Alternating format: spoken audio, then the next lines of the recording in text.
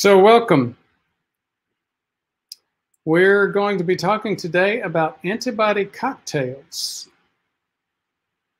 for treating the coronavirus. It's a very interesting topic. I've uh, referred to it a couple of times where basically some of the companies, Regeneron is one of the big ones, where they go back to patients that have had the virus. And this is not getting uh, serum from the, these individuals. This is getting cells from the individuals. Uh, stem, stem cells, T cells, uh, B cells, immune cells that are then um, cultured and cloned, and then um, these uh, incubators for developing antibody are generated. So that's what we're going to talk about today. And one of the big questions is is this a big breakthrough? Is this a potential quote cure? You know, I don't want to be accused of being uh, overly clickbaity about about this, but the question is, how much of an opportunity is this for us? Uh, as I've said many times, you know, a lot of people say, you know what, this is not going to change. We're not going to have a, a vaccine. Uh, why worry about it? Let's just go ahead and and get out there. And uh, if you're going to be the one, if a virus has your name on it, then go ahead and deal with it. And I've said, you know, Janice and I both have agreed we want to give humans more time to work on things like this. And this is one of the areas where I do have some significant hope. Uh, upcoming topics, we'll be talking about masks uh, a little bit later. We don't have that in here, but again, I'll just give you the verbal uh, update on it. Uh, a couple of things. One is masks, and I believe that's going to be Wednesday. Can masks actually uh, impact this virus and spread. The other one is brain. And what is the uh, what does the coronavirus do in terms of your brain? I, am not going to go through all the topics we've covered. We've got, gosh, 30 or 40. Uh, many of them are set in that long hour, an hour and 15 minute uh, YouTube live Q&A format. Uh, Carl has taken some of those, especially some of the more popular ones off sectioning them out and making them available in a, a uh, shorter format. And uh, those have been doing well. In fact, uh, one of the mo more recent ones had to do with that uh, new, more contagious uh, mutant. And what, what is it, D, D613G or something like that, that the guys at Los Alamos found uh, that took over New York and many other places. Um, these these two weeks are more of a transition back away from that uh, everyday format to our usual once a week. So uh, we'll have one today, Wednesday and Friday, and then starting next week, we're back to uh, once a week. And as you saw from last week with uh, Doug Thompson, we're starting to get back into some of the general cardiovascular prevention uh, topics that we cover in this channel.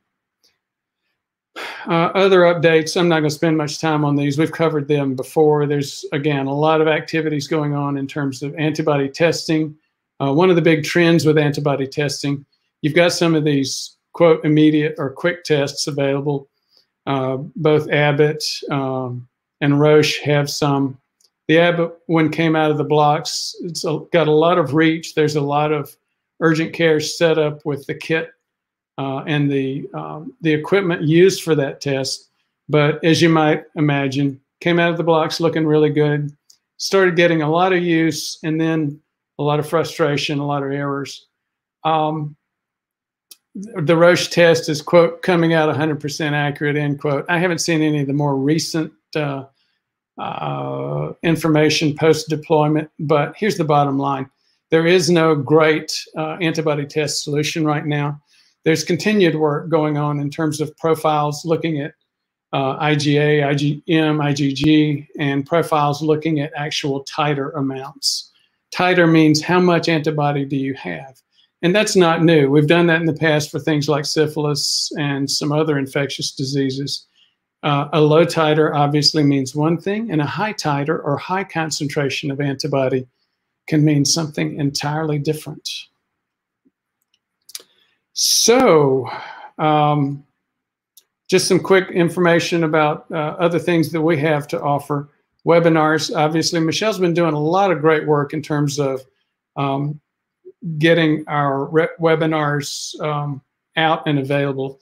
With, the webinars have been very well received. It's a it's a way to continue to see your own doc in your own hometown, uh, assuming you're able to actually see the doc these days, um, but not break care with your primary care doc, but still be able to get uh, get some care and fill in some of the gaps. Primary care docs throughout the country have been documented. Less than a third of them know exactly what they need to be doing to diagnose and treat prediabetes, for example, the real pandemic that's killing and disabling more of us than COVID. So, uh, what are some options? Again, uh, take a look at our webinar and you'll find out there are some options. We're going to be changing the CIMT webinar uh, title to plaque webinar and focusing mostly on CIMT and adding a calcium score to that. Again, the whole idea is to help steer people away from the current poor practice of just saying, hey, doc, um, do I, can we tell if I'm going to have a heart attack? Why don't we get a stress test? Uh, there are better ways to, to approach that. And that's what this webinar is about. Have, uh, we often will constantly get questions about, Doc, can you give us a little more detail about supplements? Supplements are very, very important. I used to think back in, oh gosh, decades ago that supplements, I was one of those guys that thought supplements were basically just expensive urine. And then I really started to focus on the science about supplements. And they're a lot more than expensive urine. It's a it's um, it's really clear Supplements are, you can't supplement your way out of a bad lifestyle, but you can't medicate your way out of a bad lifestyle either. And you can't stint your way out of a bad lifestyle, and you can't bypass your way out of a bad lifestyle. But there are places for each of these things that we're talking about. With the amount of supplements that are out there, what's it it has exploded in terms of the size of that market over the past decade but so has the misinformation. And our focus is uh, providing uh, science, reliable information. And when the when the science is unclear, telling you the science is unclear in this space. Um, but focusing on prevention, again, focusing on cardiovascular disease uh, and prediabetes. So we did a lot of work on that today, and uh, Michelle's moving ahead on getting that ready.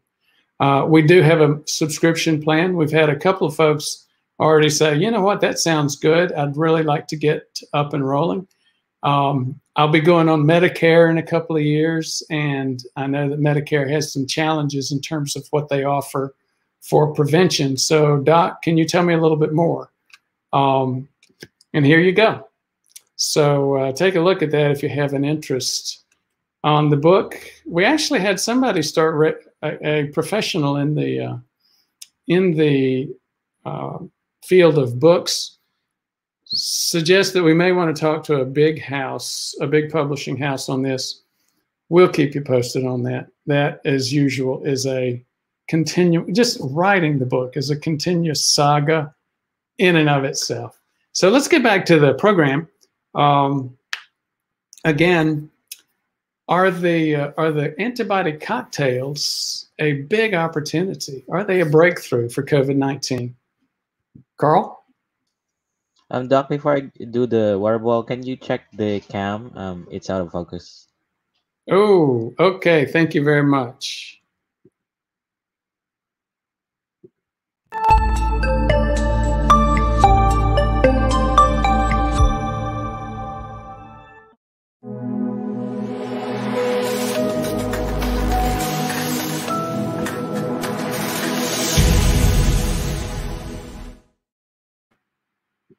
So I tell you what, I'm going to have to switch to another camera.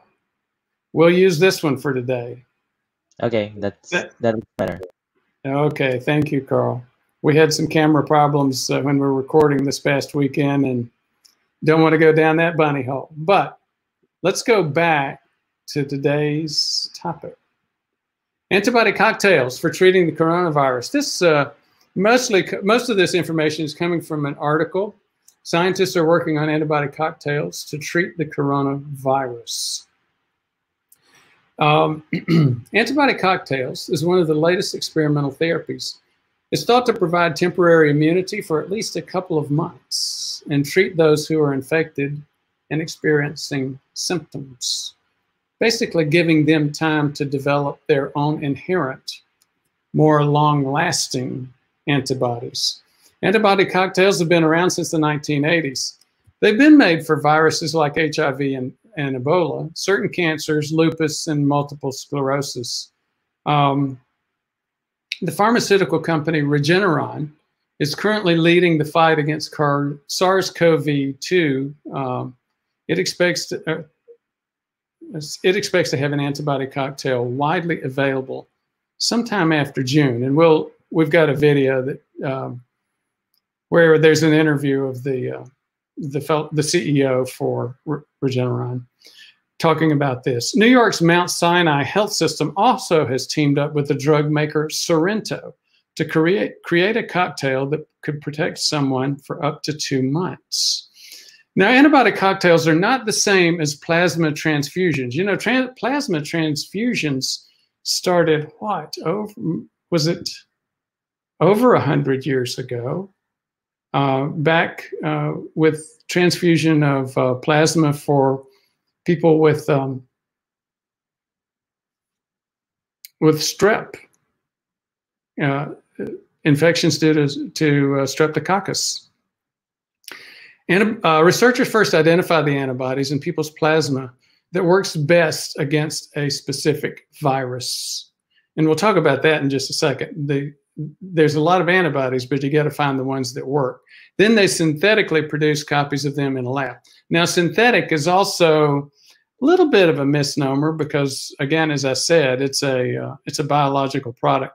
When you're using convalescent plasma, you're basically giving all the antibodies that someone has.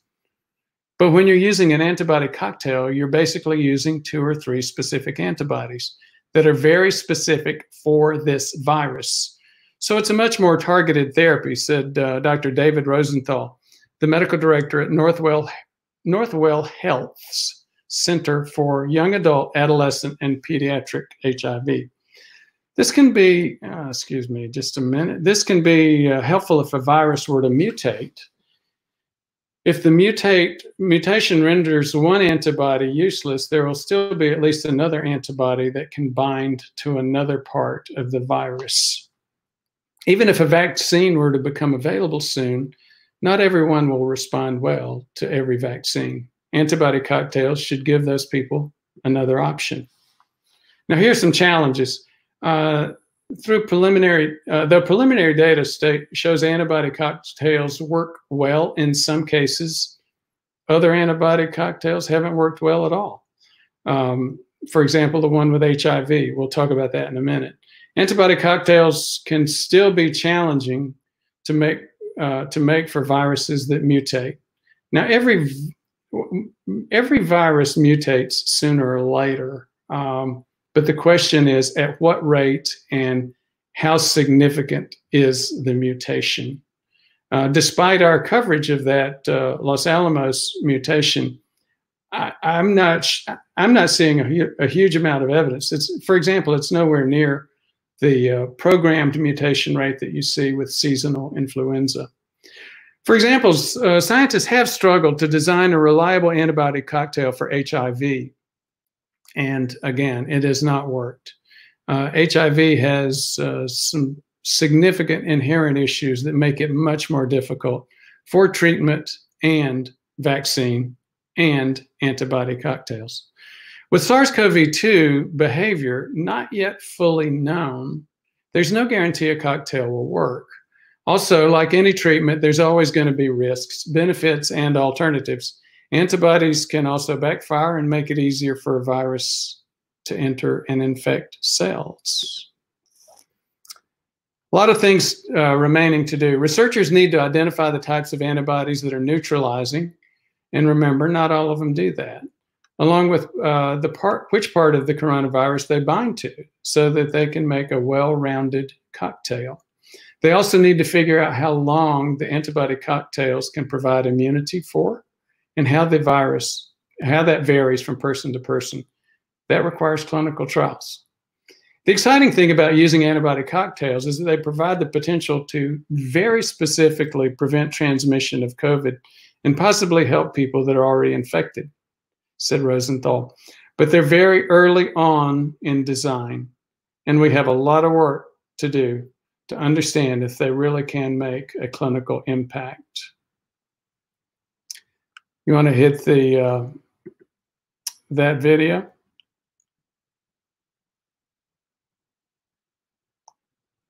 Tonight, we continue to focus on the science of coronavirus.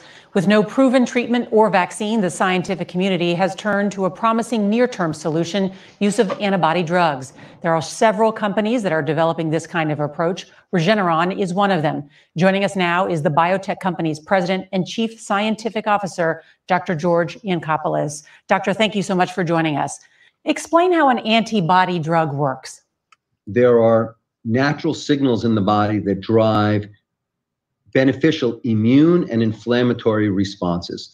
Um, the problem is, oftentimes, these immune and inflammatory responses can become excessive and they can create more damage than good. And the hope is by using this antibody that specifically blocks this one inflammatory pathway, it can actually benefit the inflammation that's seen in lungs that's causing people to have the difficulties breathing and eventually succumbing uh, to this tragic disease. Kevzara, which treats rheumatoid arthritis, how could it help with COVID 19? Some clever scientists in China decided to try it, and they reported that yes, it looked like it might be benefiting the inflammation that you get in the lungs in this disease, um, and patients might be getting better. Those studies were uncontrolled anecdotal studies, and we initiated a controlled study to see whether or not this really can make a difference for patients.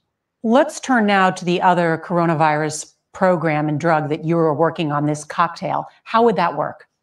When you give a vaccine, you are given uh, something that is induces what is known as an immune response. Unfortunately, it takes time to perfect the way to get the body to do it itself.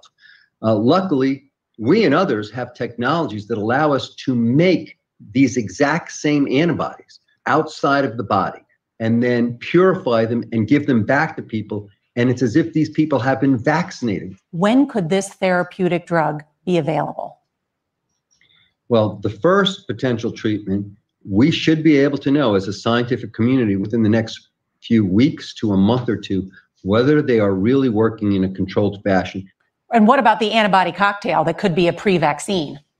By June, we could be testing it. And once again, within a month or two, we might know, uh, at least for certain patients, if it's safe and effective. So by the end of the summer, we could be treating hundreds of thousands, if not millions of people. Well, Dr. George Yancopoulos, thank you very much.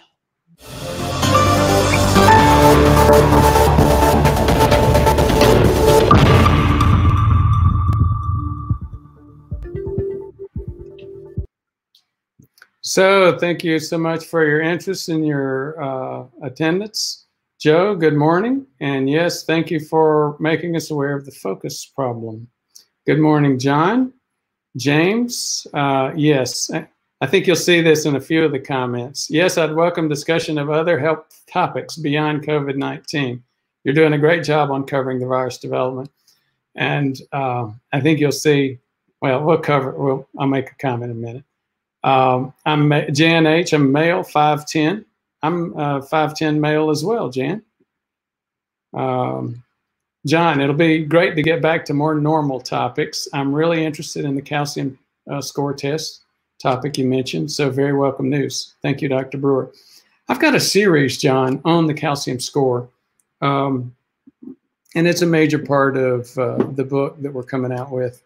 The um, calcium score is a great alternative to stress tests. CIMT is as well, and CT angiogram. So, to me, uh, rather than just say, "Hey, doc, my my cousin had a heart attack or my uncle had a heart attack," um, can we make sure that I'm not going to have one and get a stress test? What I'd much rather uh, people begin to do is look at these other three options, some combination of them, because all three of them have come out of the blocks with um, much better information, much more predictive information.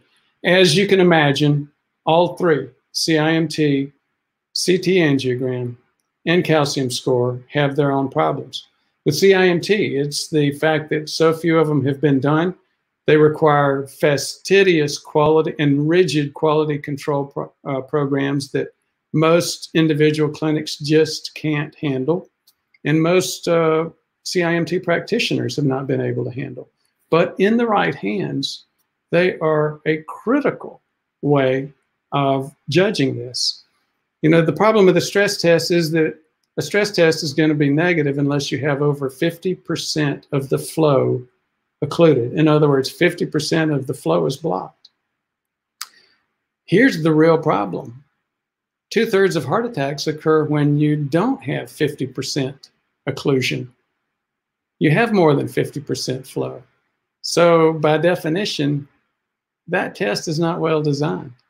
Um, coronary artery calcium score is exactly what it says. It's look. It's a, a, a, CT technology. It's looking at calcium in the arteries of the um, the heart that supply the heart muscle.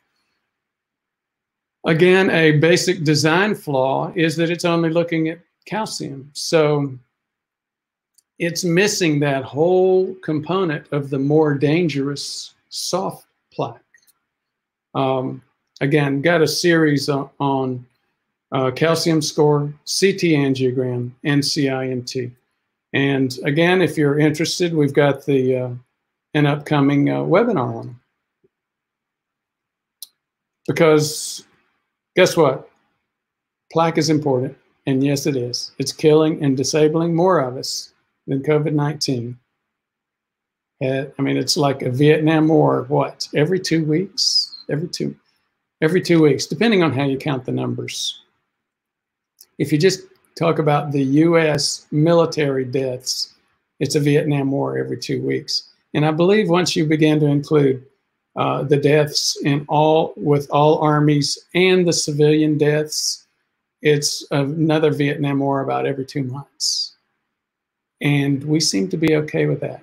We haven't we haven't really had the impact on people and their lifestyles um, due to heart attack and stroke that we've had on something like COVID 19.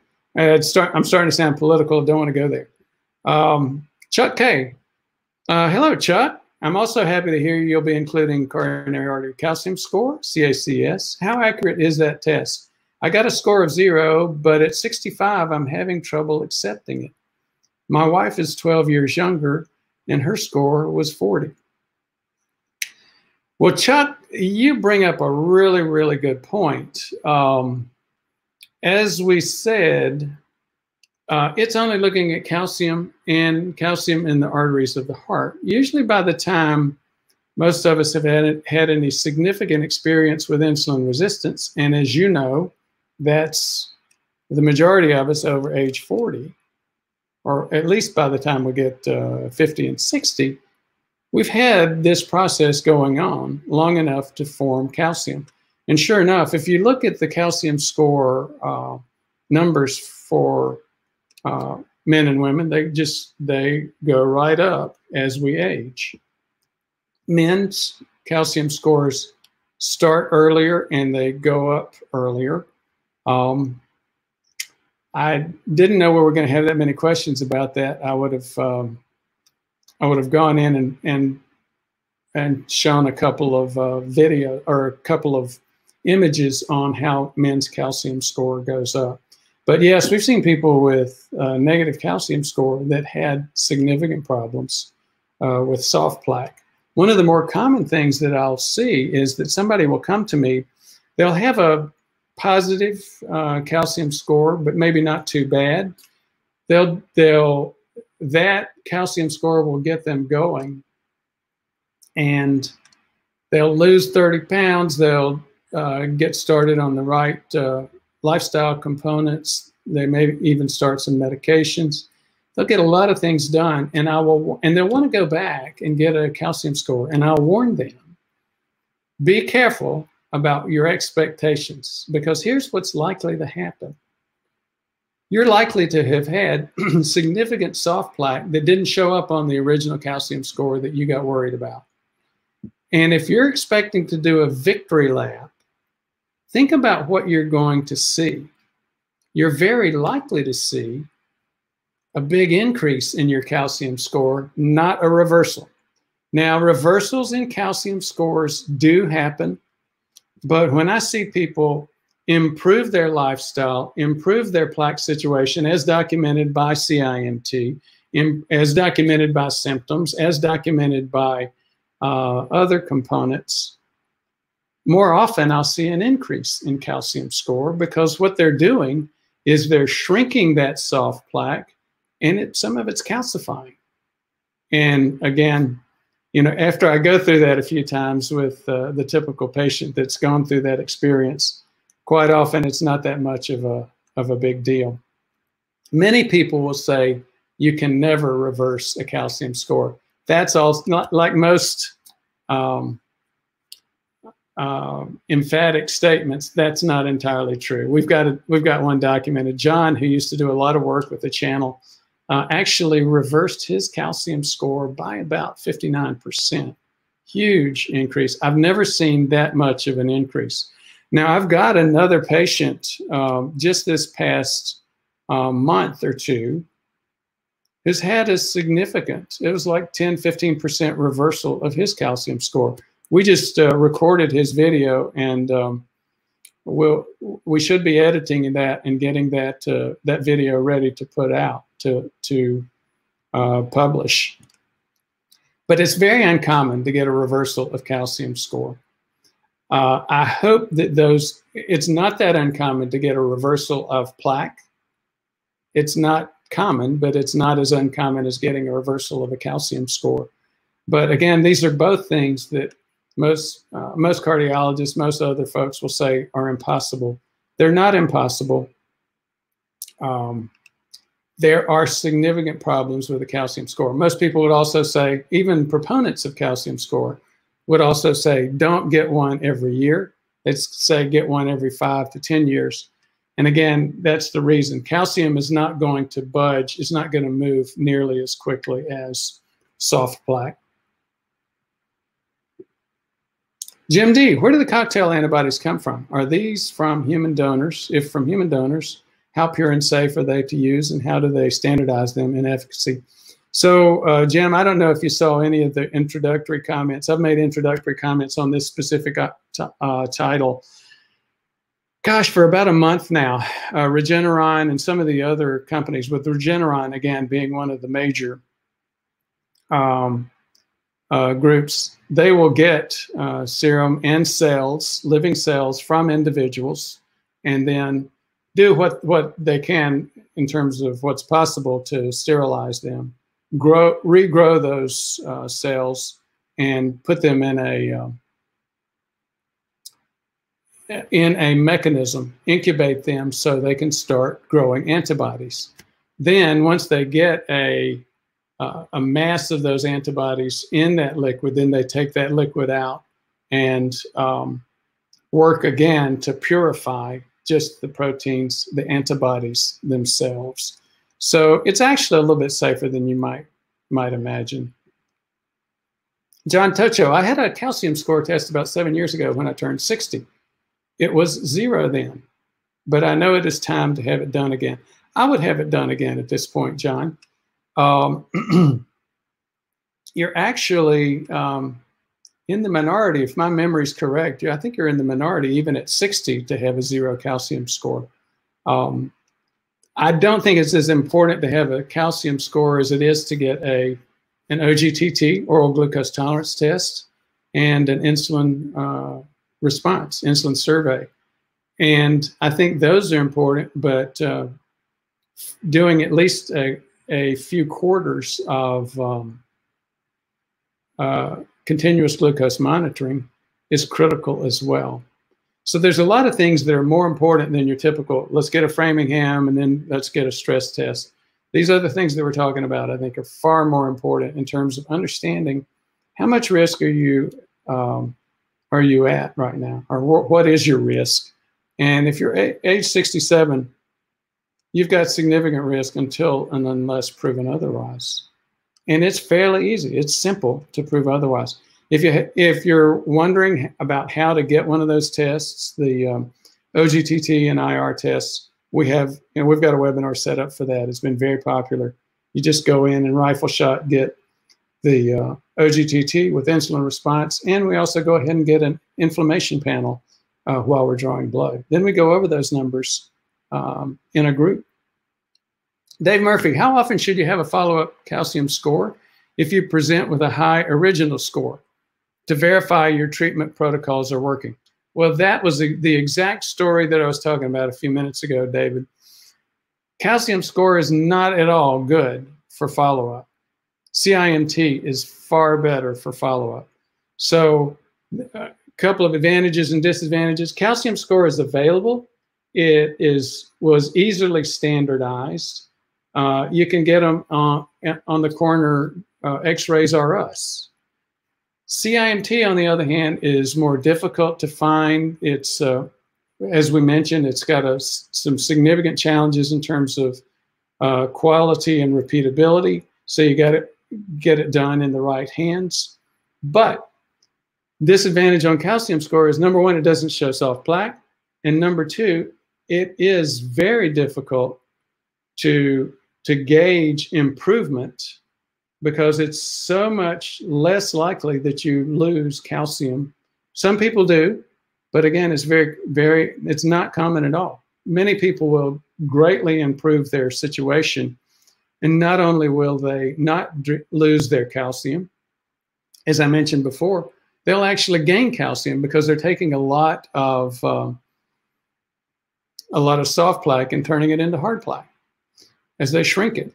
Joe Riley, everyone, uh, thumbs up, please. Thank you very much, Joe. Thank you for the reminder. I know as a YouTube creator, I'm supposed to be doing that all the time, and I just forget.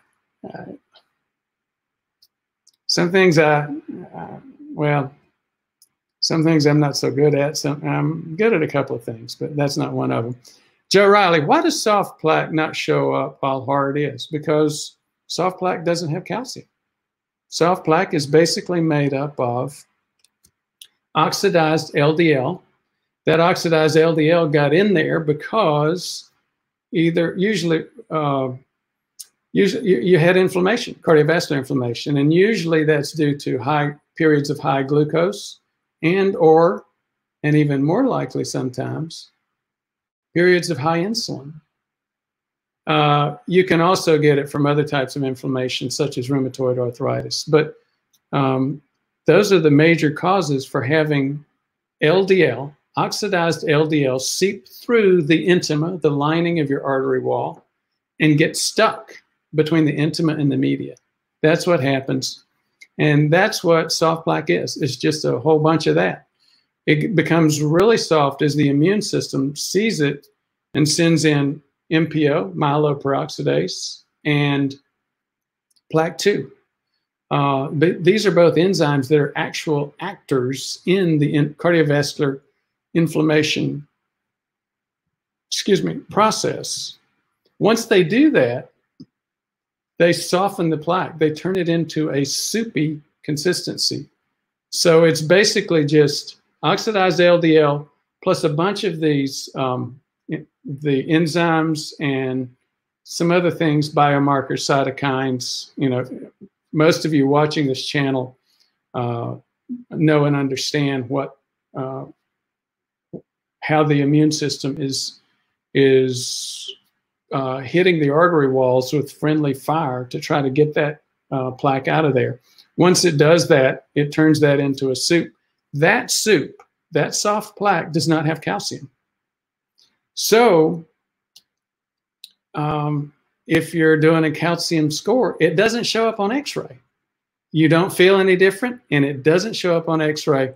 So there's no X-ray type of uh, X-ray or CT that's going to show soft plaque. I hope that uh, hope that gets uh, gets some clarity. Karsten Nielsen, pomegranates seemingly taken between meals seem to be able to decrease calcium deposits and calcium score. Do you have info or comments to this? Yes, I used to take a good bit of um, uh, pomegranate juice, but here's the problem with pomegranate juice. Um, one problem is that it's very, very high carb. It's got a ton of sugar. And for guys like me, most of us, as we get into insulin resistance, uh, that sugar is not the greatest thing. It just jacks our blood sugar up. So the next time you take some um, uh, pomegranate juice, Karsten, let us know what. Take your blood sugar after that and tell us what happens. I have not found a lot of uh, low carb. I haven't found. I found some uh, pills uh, with uh, some pomegranate components in it that were low carb, but that was about it. Here's the other thing, Karsten. Um, yes, like we, we said multiple times, supplements help, but they're not a um, they're not a replacement for a lifestyle. If we need to lose 10 pounds, we need to lose 30 pounds. That body fat is what drives this inflammation uh, by creating some of those inflammatory um, enzymes. Um, and um, again, I, I, used to drink pomegranate juice. I don't anymore. Uh, I drank it for the reasons you discussed, and I stopped drinking it for the reasons I discussed. We do have, we do have, by the way, Carlson, there's a lot of different supplements that do appear to be very helpful, ranging from vitamin D3 and K2 to cinnamon, um, bergamot, um, bergamet, uh, a form of bergamot, and uh, berberine, several other things do appear to, to be able to be helpful in this space without being harmful. Um, again, we're gonna we'll cover that in our um, in our supplements webinar. James Cantor, does CIMT view soft plaque if calcium does not? Of course it does. That's exactly what CIMT does. Um, and I don't know, you know what? Let, there's so much discussion about that right now. Let me see if I can find. Uh,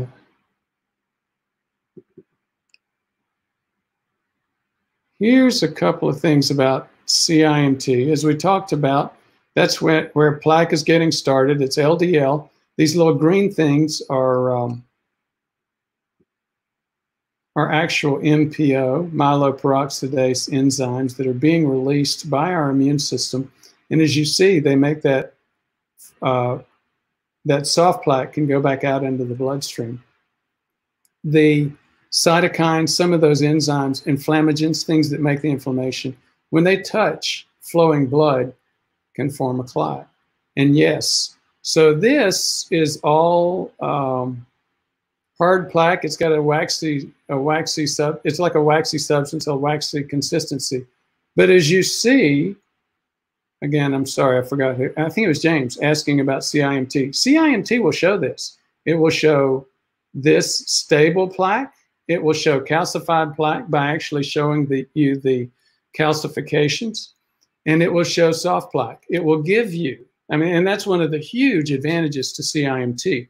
It will give you statistics and numbers uh, regarding the exact um, amounts. And let me go down here. I should be able to show you um, a couple of things that might help in this area.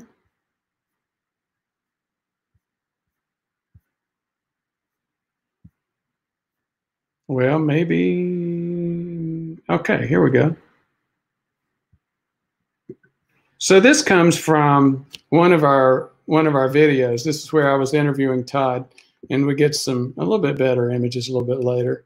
Uh, this was a family practice physician. Um, as you see here, you get patient's arterial age. So again, you're not just looking to see this this uh, physician, for example, clearly had more than 50% uh, blood flow. He didn't have, he had a couple of significant, what we call discrete plaques. This one was in the right bulb at 1.7. Uh, this was in the internal carotid. Again, anytime you get over 1.3 uh, we millimeters, we call uh, uh, we call that a, uh, a discrete plaque. But as you see, we measured. We go here. This is the um, this is where we're looking on the CIMT, uh, and this is why I said it's CIMT has some challenges in terms of being making sure you have to have very very rigid and robust uh, uh, quality systems to make sure that you're looking at the same place year after year and between different uh, IMT techs. So this is the carotid artery, the common, the external, the um, internal carotid. This is the bulb or the bifurcation. And usually if we're going to see discrete plaques, they're quite often we're, we're more likely to see them here or start here than anywhere else. This little line, and I don't, don't know how much of that you can see, but that little faint line is the intima itself. That thick white line is the media, and the dark place in between is the plaque. It is um, the oxid, the LDL, oxidized LDL that has gone through the intima and lodged in between the intima and the media. That is then measured. And in this individual, I'm trying to, in this individual, it was 0.71 millimeters. Well, now here, let me go back. Here's how you get arterial age from this. There's a thing called a nomogram. It's where, you know, with C, with CTA, with um, coronary artery, I mean, yeah, with a calcium score, those are ionizing radiation. They're X-ray irradiation. So you're not going to be doing those on four-year-olds and 10-year-olds and 15-year-olds. But ultrasound is not ionizing radiation. It's not X-ray. It's ultrasound. It has no impact on the tissue. Uh, it doesn't cause cancer. It doesn't have any of that risk that you see with x-rays. So they've got these on uh, nomograms. They've got them on tens of thousands of people starting at birth. And guess what? Um, kids coming at, being born to mothers that had significant uh, maternal diabetes come out with significant increases in their intima media thickness. But so once you begin to realize that, and you realize what I said a few minutes ago, but the, the difference between men and women and their calcium, I mean, their uh, intima media thickness. And guess what? Men have heart attacks and strokes earlier than women. Here's why. Guess which line is the men's and which line is the women's? And if you can't think through the science, obviously the color should be a tip off. Anyhow, you go back to our friend, the, the family practitioner physician. His was 0.71 millimeters. You go up here, you go to 0.71, and then you go over here. Well, uh, he is, he was what, 56, but you, uh, a typical 56 year old should have what? Much less, and his uh, I'm sorry. He was he was uh, 50, and a typical 50 year old should have a much lower 71 millimeters. So you go back and you find where does this uh, intersect with the blue line? And that intersects with the blue line at 56. So that's how you get an arterial age of 56 for that gentleman. In other words, he's putting down plaque faster than your typical person. The other thing I would show you is that uh, you can you may be able to see here in this area. This will tell you how much of that plaque is soft, how much of that plaque is hard, and you see that with uh, with this one as well. Um, this is where my uh, CIMTs uh, at age 57 had a plaque plaque deposition rate of uh, uh, equivalent, giving me the arterial age of a 73 year old. Now, over the next, I started taking statins. Uh, I started dealing more with uh, carbs in my diet, and um, I lost about eight pounds. And sure enough, over the next uh, what 16, 18 months, my um, my IMT, intima media thickness, dropped dramatically down to less than a male. So my uh, IMT thickness right now is still that of a um, somebody in his early 50s rather than my biological age, which is in my early 60s. So you can do this. Again, it's not that common to see reversals, especially like I had, but it does happen. Again, this is a better a better view of intima media thickness. Uh, that's what that uh, IMT is. That's what that means. This thin hair-like line is my intima. This thick white line is my media. And you see it's a little bit ragged. That's it's always that way. Some places are thinner, some places are thicker. But the different and they've highlighted that line, those two lines to show you exactly where they're taking the measurement. They take the they take about 600 cuts here. Uh, obviously not actual physical cuts, but cuts in the imaging.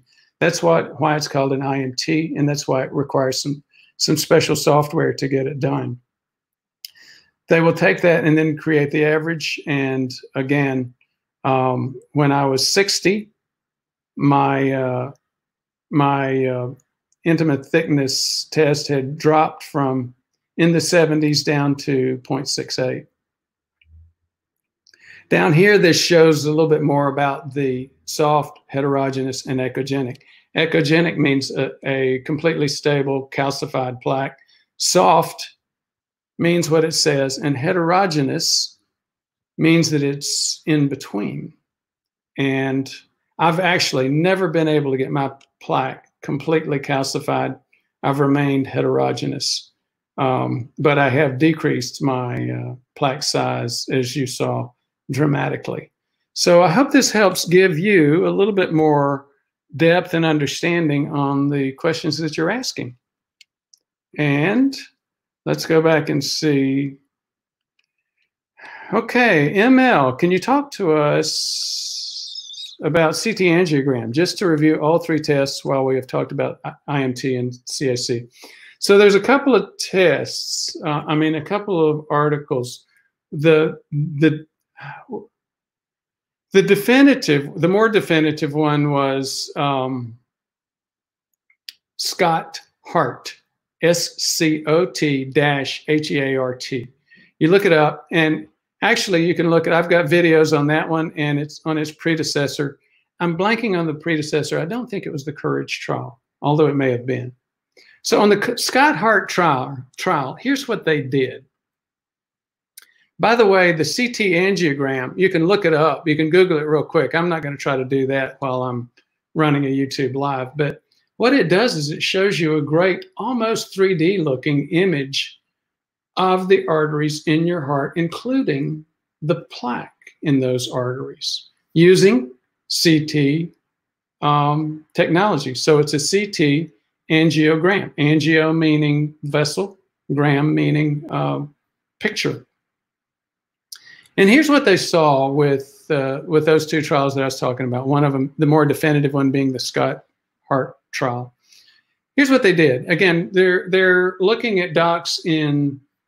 They're not looking at me. They're looking at most of the re rest of the world in terms of docs. And what do they do? Um, some combination of stress test usually. So they stress test and or uh, stent, um, angiogram with a invasive angiogram, you know, where they, they stick the needle in the groin and go up and shoot dye in there. And they said, here, go ahead and do what you normally do, doc, in terms of stress tests and angiograms and whatever. But also, um, do this, get a CT angiogram. And uh, when they compared CT angiogram plus stress test to stress test alone, Here's what happened. they saw a lot more pathology, a lot more plaque than people knew on the stress test. And you know what? That just makes sense. It goes back to um, the Tim Russert story. It goes back to the all too common story of, oh, you know what? We were worried, so we got a stress test, and it was negative, and he had a heart attack two weeks later. Um, it also goes back to what we already know about uh, about stress tests, in that they're going to be negative unless you've got over 50% flow occlusion. And two thirds of heart attacks happen in people with less than 50% flow occlusion. So, again, these things were consistent. So, people that had the stress test plus the uh, CT angiogram did better long term. Um, and guess what? The bottom line is, as you get deeper into that study, it would, it would indicate here's why. They felt like, you know what? I don't have a, a pass on this. I do have problems. And you know what? That one of our patients has shared with us. He wanted to put a picture of his CT angiogram up on his refrigerator because it's lifestyle that reverses our risk for heart attack and stroke not a stent, some, some of these other things that are so common. And if you get a negative stress test, you think, good, I've got a pass, I'm okay, I'm healthy, I'm not going to have a heart attack. You continue your lifestyle and you have a heart attack. So I hope that helps, ML. If you have another specific question regarding CT angiogram, let me know. Uh, CT angiogram, by the way, is like calcium score it uses ionizing radi uh, um, radiation. I personally am not concerned about the amount of ionizing radiation you may get from a calcium score or even a CT angiogram in most cases, because we're talking about, uh, you know, we're talking about adding the potential of a cancer uh, for, you know, every 60 years and uh, maybe a cancer death. And that sounds bad, but with people with this kind of plaque, we're talking about a 20 to 40% heart attack probability in the next 10 years. So the concerns about radiation are not really a big deal. Uh, what we want to do, though, is we want to find out how much plaque we have, whether it's soft or not, and how much danger we have. Because just a little bit of plaque can squeeze out into that artery and form a clot. Uh, Dave Murphy, kind of annoyed. My local heart hospital used to do CIMT. Now that you've convinced me to do one, they're no longer doing them. And with no reason why they stopped. Have to travel 200 plus miles now to get one. Well, there is there may be a, a good side of that story, Dave. Um, as you saw from my pictures, um, you have to be very careful on how you do them. And local hospitals often aren't. So what you often get from a local hospital can be very deceptive. I'd be very careful about depending on a local hospital. Karsten Nielsen is hard or a combo of hard and soft calcium that sucks up the fat and hardens kind of like cement. Well, as I showed you, um, it's a continuum the more calcium you have, the higher the concentration of calcium in there, the more organized and scarred down uh, and stable that plaque is. David Murphy, what's a good MPO? Uh, it depends on which MPO uh, test kit you're using, usually less than 400. Jim D, are there typical ratio relationships between uh, uh calcium score vis visible calcium and the soft plaque. No, they're not. It, it, they're not. Uh, that's a great idea. It's a great thought. But here's the thing: Are you? Is your process mostly inflammatory? Are you walking around with blood sugars in the 180s, 190s, 210s, and or cal, uh, um,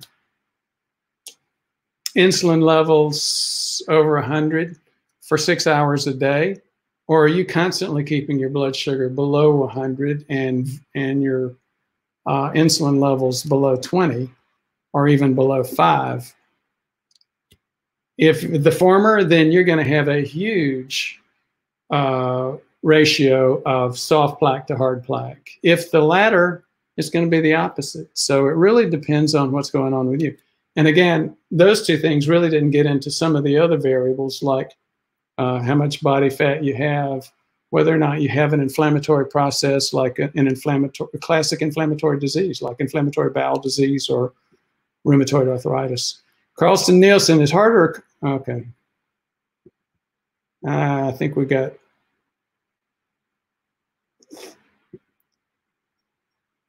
Uh, Lori's uh, making folks aware that she's available. She's the nurse educator here with our Heart Center, and she'd love to hear about your health goals and concerns. Here's her number 859 757 2324. That's uh, 859 757 2324. And Laurie's doing some good work in terms of helping us get to where we need to be in terms of helping folks. The hard part, I mean, it, it's hard enough to understand the science behind this, but the real hard part is incorporating that into your daily life to get your body where it needs to be. And Janice and Laurie do a lot of work helping people get get exactly there. My BJJ, a $5 super chat sticker. Thank you so much, my BJJ. As you've seen, we've got a team in, in terms of getting this message out. Um, I've retired a few times now and uh, have am continuing to consult right now, uh, helping people get back to work with uh, COVID-19. But um, rather than play golf, we're uh, PrevMed, myself, our team is out there helping people uh, try to understand what you can do to keep yourself from dying unnecessarily early or ending up in a wheelchair for two decades before you do. So that every little bit helps my BJJ. Thank you so much. I believe Ivor Cummins recommends living a lifestyle that reduces oxidized LDL as a primary method to neutralize the risk for high LP little a. What are your thoughts on this? Absolutely, LP little a. And I, I get a lot of people that uh, there's a significant crossover between my channel and Ivor Cummins's. I uh, I left Ivor a couple of comments a couple of times to see if he wanted to do a a uh, joint chan- uh, joint visit or two he said yes, but he's never gotten back around to me. I'd love to. Uh, if any of you know him, or uh, if you want to send him more requests, I'd be very happy. I'd love to do one with him. I think what will happen is that uh, our folks, our viewers that don't know about Ivor, and Ivor's viewers that don't know about us, uh, would both profit from that activity. Uh, Ivor and I have a totally different approach he's much more engineering, much more focused on um, low carb, low carb, low carb. And I'm a physician. I'm much more focused on patient care, and I get uh, way deep into a lot of technical stuff that uh, Ivor hasn't touched. Uh, so again, very different channels, but a lot of overlap. Now, LP little a is a form. It's a genetic variation of LDL. That's all LP little a is. And most physicians haven't even heard of LP little a. Uh, the bottom line is it's been documented many times to be a significant cause of heart attack and stroke. And if you don't believe that, look up the name Bob Harper. If that doesn't sound, um, if you don't know already, he was the one of the exercise gurus on The Biggest Loser. In the early, in his, uh, I think early 50s, as a uh, TV star and celebrity for staying healthy and keeping uh, at a good uh, weight level. He had a heart attack. So obviously that caught everybody's attention. Then a week or two after his heart attack, he came out and said it was LP little a. So docs were saying, you know what, LP little a is just, um, it's a dirty little secret. We, we don't think we can fix it and yada, yada, yada. And Here's several things. Uh, my BJJ. I don't. I haven't heard uh, Ivor's full uh, activity. I would agree with him on decreasing inflammation. I would not agree if he's saying, like most docs, that niacin does not help for LP little a. First of all, I do recommend a trial of niacin because I've seen multiple patients with significant decreases. Now, here's a couple of the problem, and uh, I could go on. I've actually got three or four significant videos on niacin, niacin and LP little a. Um, if if you actually what most people think, well, we only got a like a 25 or 30 percent decrease in LP little a, so it, the niacin didn't help. That's wrong. If you watch inflamm inflammatory panels, if you watch other bioindicators, usually if you can get a 30% decrease in LP little a, you do see a significant decrease in the inflammation panel and the other indicators of inflammation. So um, this statement that niacin doesn't work for LP little a is wrong. Now, um, those of you who have significant LP little a, and I'm assuming maybe BJJ that you do, as you know, there's a lot of good information coming out now from the antisense drugs. They're not ready for prime time either yet. They're, you know, they're still in trial. And when they do come out, they're going to be tens of thousands per year. I've had very few patients that were not able to get better control of their LP little a. In fact, I haven't had any patient that wasn't able to get better control. I've had uh, very few patients who weren't able to get uh, comfortable control where they felt like, you know what, I'm fine, I know what to do. Dave Murphy, thanks for another informative session. Thank you, uh, Dave, for your interest. Jim D, yes, Ivor Cummins rocks. Should definitely collaborate with him in an interview together. Well, help me get that done. I don't know what else to say to Ivor. And if I and if I sound like I'm leaving him a present, uh, hopefully so. Hopefully some people will get in touch and say, why don't you talk with Doc? Dave Murphy, have you seen a Biggest Loser reunion? No. Most of them are all fat again. Yep, no question. Thank you so much for your interest today, and uh, we will see you on Wednesday. Carl?